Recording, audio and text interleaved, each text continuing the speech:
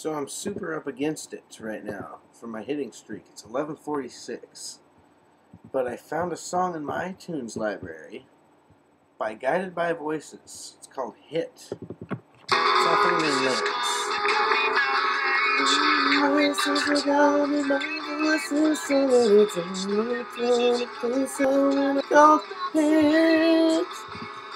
the song called